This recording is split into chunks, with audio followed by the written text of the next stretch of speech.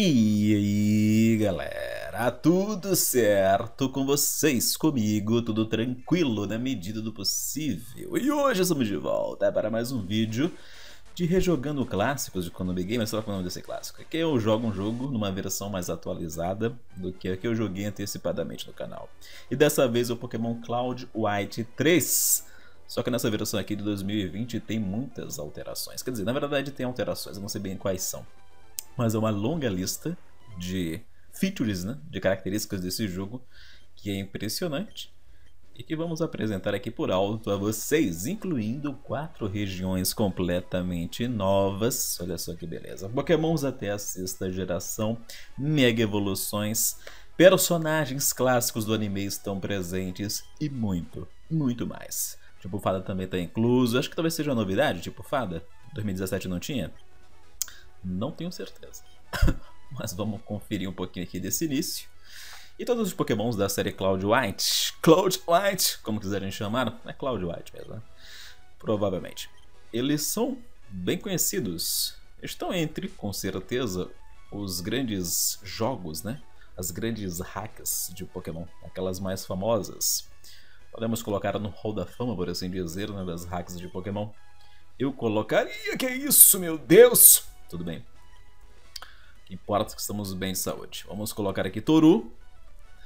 Devia ter a opção aparecendo ali, mas eu cliquei um pouco errado, então vamos desse jeito mesmo. Não é isso aí? É isso daí. Caraca, tá todo mundo aqui no meu quarto já. Privacidade é um item, né? Pré-histórico. Em 2020... Ih, rapaz, tá meio bugado isso daqui, hein? Mas tudo bem, vamos falar aqui com esses dois. Estou sim acordado com vocês me observando, acho que não consegui dormir. Kaido Region na East Island. Tá certo. Levar essas Pokébolas e uns Pokédólares aqui. É importante. Hum. Tá, vamos escolher então os iniciais de Sinnoh. Temos aqui um Turtwig, eu não quero. Temos aqui um Chinchar. Eu provavelmente vou querer o Chinchar mesmo. Como são todos de Sinnoh, né? Já me anteciparam. Não vou olhar o último. Um de seus amigos estão numa viagem. Então você tem que é, pegar ali um, uma carona para ir até lá. Passou muito bom, um bom tempo, não ter um Pokémon novo. Ok. Talvez tenha continuidade em relação aos outros Pokémons Cloud White na história. Nunca joguei os anteriores, né? Mas eu comecei a me lembrar se caso tivesse jogado também. Uma coisa que também diz, né? Entre as várias implementações, as várias adições desse jogo, que aliás eu recomendo você dar uma conferidinha aí no site oficial ou no Poké Harbor, que foi onde eu consegui a própria hack em si, para ver a lista completa, que é realmente bem grande, falava de mundo aberto nas regiões, o que eu não sei bem o que quer dizer, né? Tem variações dependendo, mas quero dizer em linhas gerais que eu vou poder ir para locais né? sem precisar me preocupar muito com ordens, em teoria. Tudo no SSN, será que eu posso ir embora? Deveria explorar o barco. Opa, será que tem um Pokémonzinho aqui de bobeira? Não, é o que mesmo isso aqui? Tá, é só um copo, uma marca de Pokémon nele. Certo. Interessante, né? Minha cabine. Gostei de como ela é diferenciada. Acho que é o que você ganha, né? Por ser famoso no mundo Pokémon. Uhum, espero que você esteja aproveitando sua viagem com a nossa companhia, beleza? Não consigo ir embora do barco ainda. Tá bom, Toro tá aqui dentro, vamos falar com ele então. Ele tá um pouco mais preparado, mas eu acho que é só falar mesmo. Tá certo, ele e o Max receberam pokémons novos. Beleza. E você me diz batalhar com o treinador mais forte já existente. No caso, né, tá se referindo a si próprio. Evidentemente, ao Toro ele ama a si mesmo, é importante, inclusive, uma lição de vida. Ui! Eu vou vida louca aqui. Tô com um ponto de vida, a gente fez o cálculo, a matemática não falha. Claro que não falha a matemática, mas ela inclui, né? Alguma variação de dano, um crítico que ele poderia ter me entregado, mas enfim, né? As coisas deram certo, vamos fingir que nada disso era uma possibilidade. Vamos chegar na East Island, já chegamos na própria. Beleza, por enquanto não tá nada muito aberto, né? Tá tudo bem direto, inclusive. Nossa missão é derrotar todos os líderes de ginásio do arquipélago. Uhum. Depois de derrotar os lords. Beleza, a gente tá sob controle dos lords. Só que para derrotá-los tem que derrotar primeiramente os líderes de ginásio. Uhum. Beleza. Pra gente derrotar aqui os líderes do arquipélago, lição do mal, né? A gente tem que supor isso. Eu acho que sim, né? acho que eu não só vou derrotá-los porque a gente quer fazer isso e a gente quer tomar o local. Não. Certamente não é assim que funciona. Vamos mostrar aqui, ou melhor, vamos ver as habilidades do nosso garoto. Chega aí, meu queridão. Peraí, eu não me curei. Será que tinha como me curar? Onde é que eu vou voltar aqui? Eu não posso correr, né? Acho que eu vou me curar com a poção mesmo. Não queria ter feito isso. Se tomar envenenamento aqui, por exemplo, eu tô completamente lascado. Que eu não identifiquei nenhuma enfermeira Joy nas proximidades também, né? Vamos lá, dar um scratchzinho aqui. Como eu falei, né? O começo tá bem... Railroad, como a gente fala isso em português, hein, amiga? Tá difícil, hein? Como é que fala isso em português? É complicado. É... Bem... Limitado ali, a história narrativa. Não tá muito aberto, não. O eventualmente não funciona quando eu ando aqui nesse jogo. Deixa eu conferir. 13 pontos. De fato não funciona mesmo, né? Olha, interessante. Facilita um pouco o processo, né? Beleza. Laboratório, vamos ver aqui no IN, né? Na estalagem.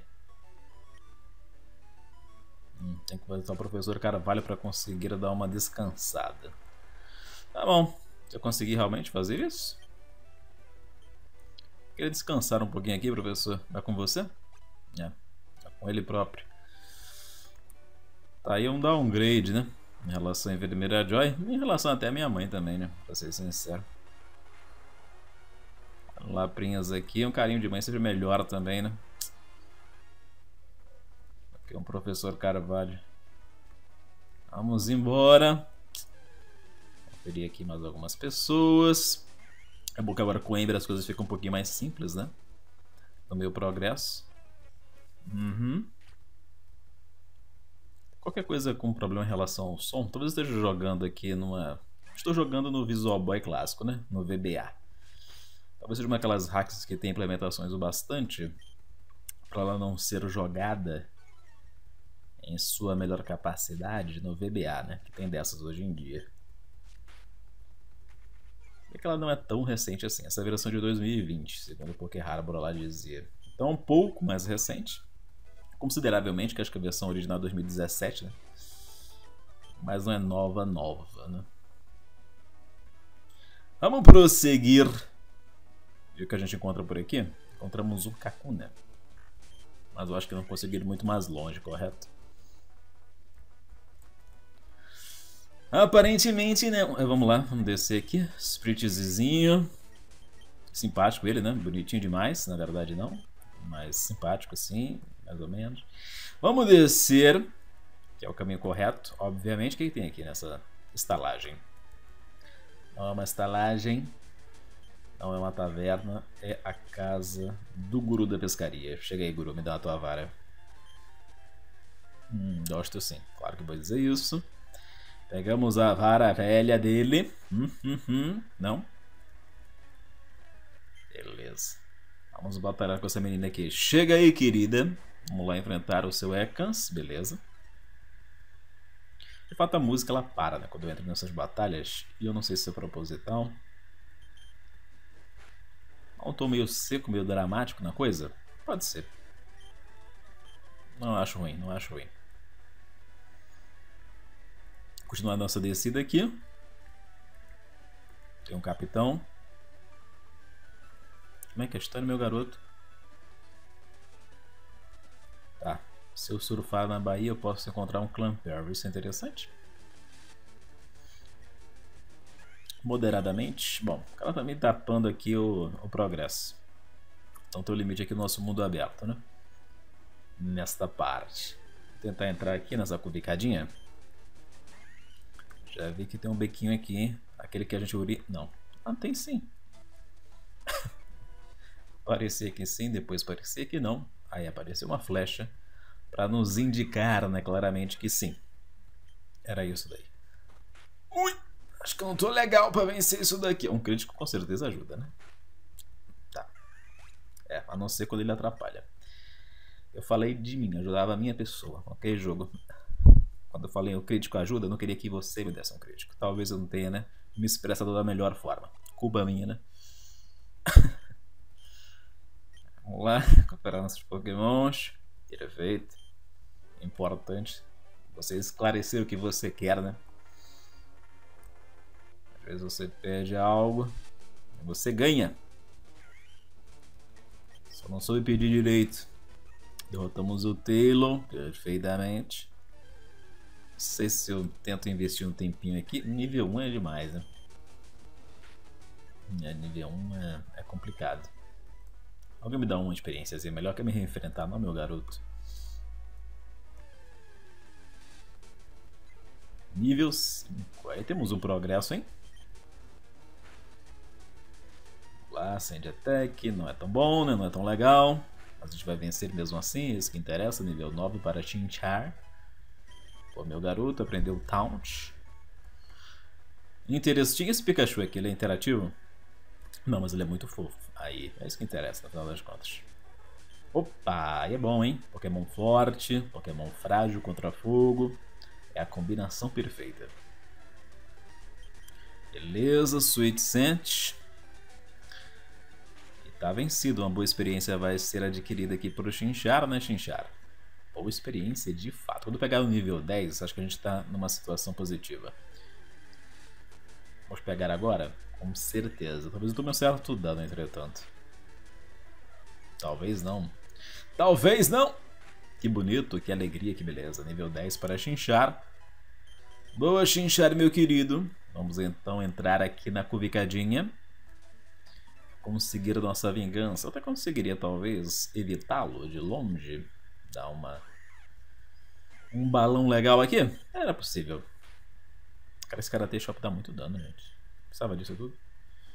Melhor o Teco, melhor o Teco. Opa, interessante Burnett. Interessantíssimo, interessantíssimo. Vamos lá. É, na verdade não fez a mínima diferença, mas tudo bem. A música voltou do nada. Realmente eu não sei se é um bug ou não. Ui, crítico de novo. Nível 12 para Chinchar. Não estamos chegando lá ainda. 4, 3, 2. Deixa eu ver isso aqui. Seja um item. Ah, um Pokémon. Mas é um inicial. Eu posso capturá-los, olha só. Será que ele me mata? Será que eu mato ele? São perguntas importantes assim, né? Eu quero fazer essa captura, ainda que seja apenas uma experimentação. Mas eu não quero uma... Acho que eu deveria ter imaginado isso. Eu tô no nível 11, gente. Não tô no nível 7. Eu não registrei muito bem na minha cabeça o nível 11 do meu Pokémon, eu acho. Em minha defesa. Alguém vai dizer, no Big Game é claro que ele ia morrer. Então tava assim, incorporada ali a entendimento completo do que é estar no nível 11? E o que isso significa como implicação de poder nessa circunstância? Mas ficou formal isso, hein? Vamos lá. Nível 11 também, o Cherubi. Bom, mas eu não vou morrer aqui. Vou morrer na próxima, mas aqui não. Aqui não, vai ser agora. Né? Fato. mas não era ali. Essa é a parte que interessa. Se tu acertar um Ember inspirado, talvez não morra aqui também. É isso, gente. É isso. Agora eu gostaria de uma poção. Seria um sonho realizado. Derrotamos o Ben. Beleza, uma perca de tempo, né, Ben? Falando em perca de tempo, meu garoto, você não viu um itemzinho aqui de bobeira? Pra eu perder meu tempo pegando ele, não? Ah, vamos lá, vamos até morrer, vai.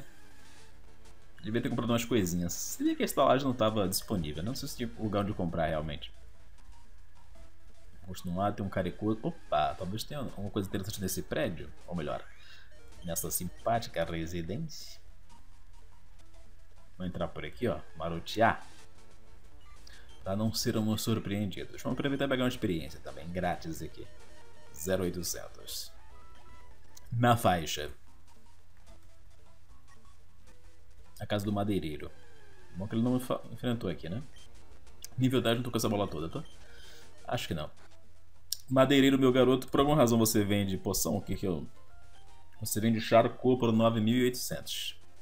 É um preço acessível, inclusive, né? Obrigado, cara. Que palhaça!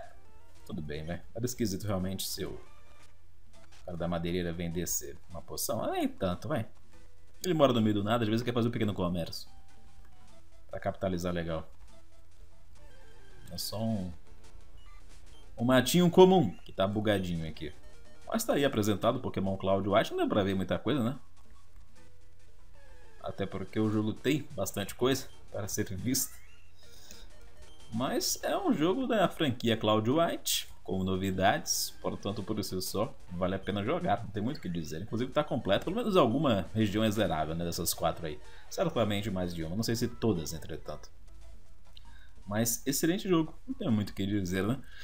Fiquei um pouco preocupado, para ser sincero aqui, com os bugzinhos que apareceram muito no início, né? Não foram bugs, como vocês puderam notar, prejudiciais, assim, gravemente, nenhum deles. Entretanto, a existência deles só no início ficou meio... É, caraca.